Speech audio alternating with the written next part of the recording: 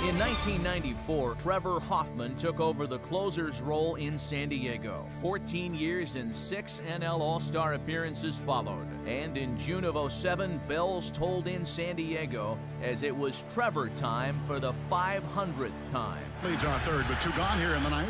A 1 2 pitch. Outside corner, strike three call. 500 saves. 500. Count. The ultimate team player sets a record that in terms of doing it for your club, as he'll tell you, that's all that matters. He doesn't care about the number. What he cares about is when I get my job done, that means the Padres win. That's my job. Unprecedented in Major League Baseball history by the all-time saves leader.